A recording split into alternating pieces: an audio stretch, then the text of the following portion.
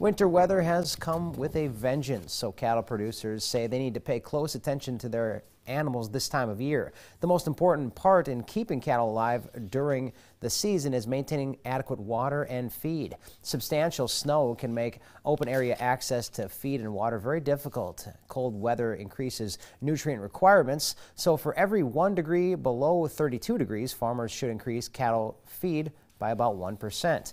The extreme negative temps and high winds certainly play a big role in unhealthy cattle as well. The NDSU Extension Center recommends cattle's body conditions to be at least a 5 out of 10 to be able to make it through the winter.